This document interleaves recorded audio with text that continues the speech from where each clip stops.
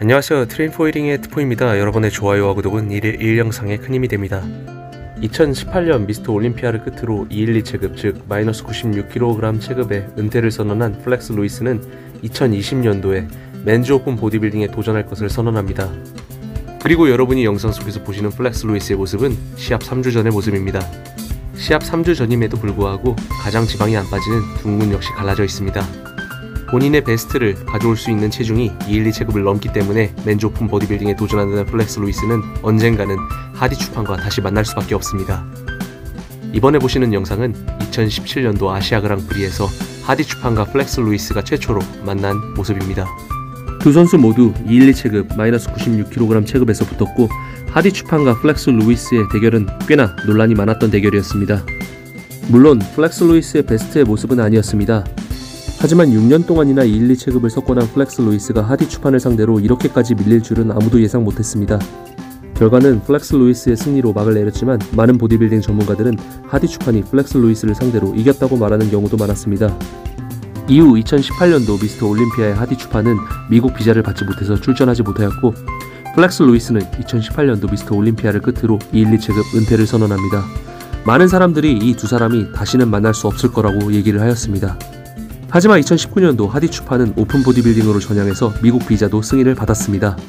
또한 플렉스 루이스 역시 2020년도에 Men's Open 보디빌더로서 도전을 하게 되죠. 그들의 대결은 마치 필연과도 같습니다. 오늘은 212 체급에서의 플렉스 루이스의 모습과 Men's Open 보디빌딩에서의 하디 추판 모습을 집중 비교 분석해 보겠습니다.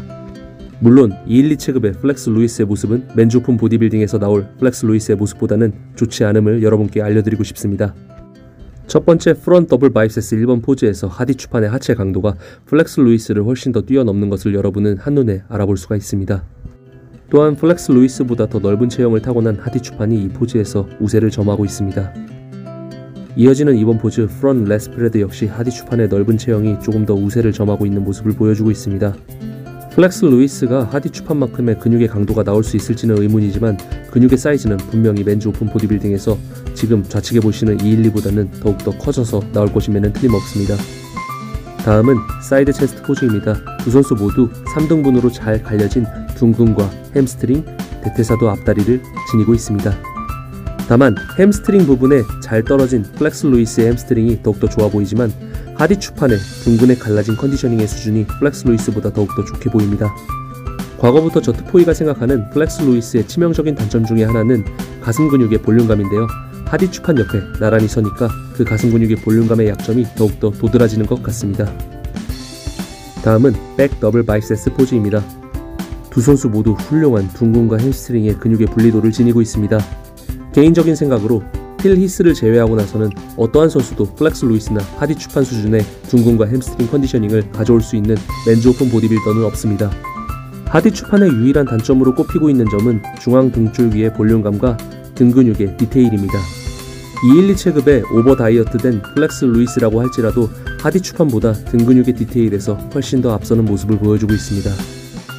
다음은 Back Lat Spread 포즈입니다. 광배 하부 근육을 보시면은 하디 추판의 광배 하부의 등 근육의 볼륨감과 플렉스 루이스의 광배 하부의 모습이 확실하게 차이가 나고 있습니다.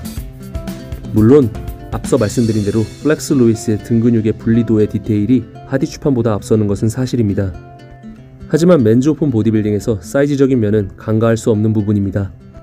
플렉스 루이스는 등 근육의 너비는 물론 볼륨감을 잘 살리지 못한다면 하디 추판에게 이 포즈에서 100점 100패를 기록할 것이 틀림없습니다.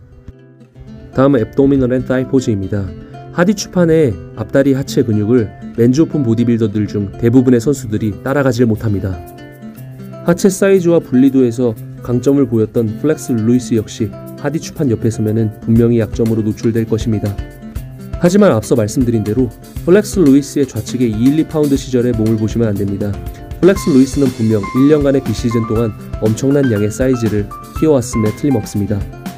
시합 3주 전에 이미 무대에 오를 수 있을 정도의 훌륭한 모습을 만드는 플렉스 루이스지만 3주 동안 근육의 손실을 피해갈 수 없었습니다. 이러한 플렉스 루이스가 오픈 보디빌딩에 출전했을 때 얼마나 더 근육의 사이즈를 키워서 오느냐가 관건이 될 것 같습니다. 두 선수가 어떠한 대회에서 미리 만날지 모르겠지만 분명한 것은 2020년도 미스터 올림피아에서 두 선수는 만나게 될 것입니다. 트레인포 1링의 트포이였습니다.